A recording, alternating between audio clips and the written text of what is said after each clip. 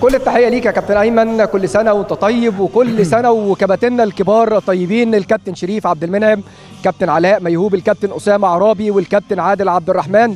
طبعا عيد سعيد عليكم جميعا وعلى كل مشاهدينا مشاهدي شاشة قناة النادي الأهلي في كل مكان.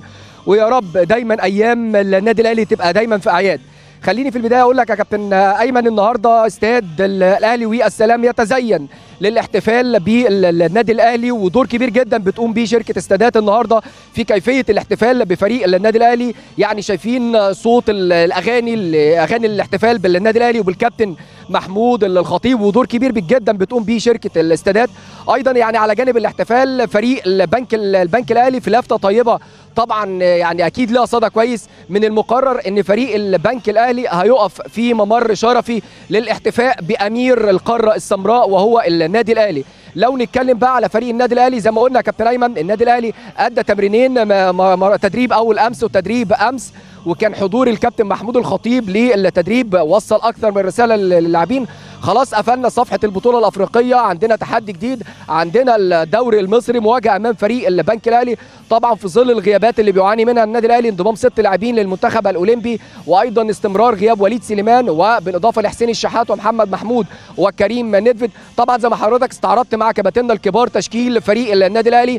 أيضا أذكرك إن خرج من قائمة النادي الأهلي لهذه المباراة الاثنين الناشئين أحمد نبيل كوكا وحمزة علاء موجود على مقاعد بدلاء النادي الأهلي مصطفى شوبير رامي ربيعة ياسر إبراهيم محمود وحيد محمود متولي سعد سمير أليو ديانج مروان محسن وولتر بواليا. مستر بيتسو موسيماني طبعا يعني حرص إن هو كان يجتمع مع محمود عبد المنعم كهربا وجونيور أجاييه في جلسات منفردة وأيضا مع محمد مجدي قفشة.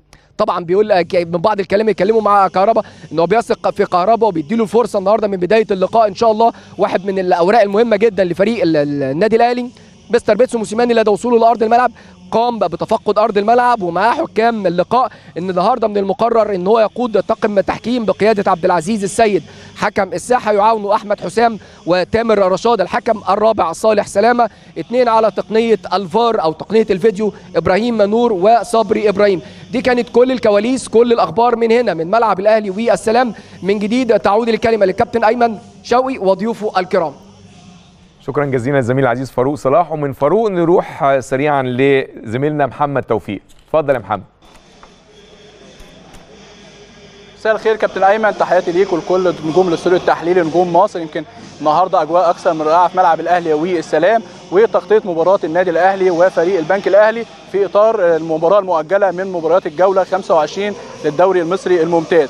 يمكن الفريق البنك الأهلي اللي بنتكلم على استعداداته النهارده استعد بدون راحة خاصة إن هو منتشي بانتصارين في آخر مباراتين أمام طلائع الجيش والمصري البورسعيدي. يمكن كابتن إيهاب جلال يعني خالد جلال قرر إن هو على طول بدون راحة أعطى اللاعبين بس 72 راحة بعد مباراة المصري اللي كانت يوم 2 يوليو 2 7 الفريق بقى له 20 يوم ما خدش أي مباراة رسمية. بعد 72 ساعة على طول الفريق واصل استعداداته ودخل معسكر مغلق لمدة 10 أيام قبل المباراة. نظرا لأهمية مباراة النادي الأهلي اللي الفريق شايفها مباراة صعبة وكبيرة ولكن هو في صراع المنافسة على الهبوط أو الهروب من قاع الجدول طبعا. فهو عايز يطلع بأي نتيجة إيجابية أمام النادي الأهلي النهارده. يمكن الفريق في المركز ال 15 ب 25 بونت بنفس الرصيد لنادي أسوان في المركز ال 16 فشايفين إن أي بونت هيخرجوا بيه مباراه النهارده هيبقى زي ما بنقول أمل جديد ليهم في صراع الهروب من صراع المؤخرة وال يعني النزول للدرجة الثانية. فعاملين حسابهم جدا ومستعدين بشكل كبير. يمكن كابتن خالد جلال كان ليه تصريحات كمان قبل الماتش. قال طبعا مباراة النادي الأهلي مباراة كبيرة ومباراة صعبة خاصة بعد تتويج النادي الأهلي بالنجمة العشره والبطولة الأفريقية. لكن أنا قلت للاعيبتي يعني إحنا لازم نلعب النادي الأهلي نادي بطل.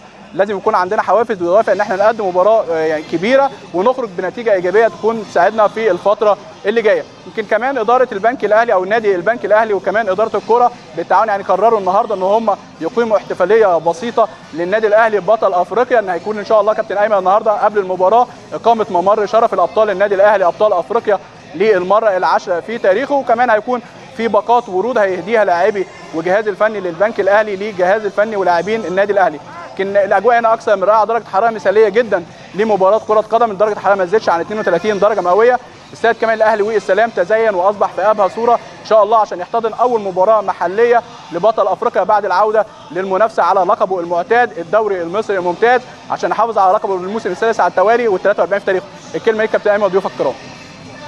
شكرا جزيلا الزميل العزيز محمد توفيق. و...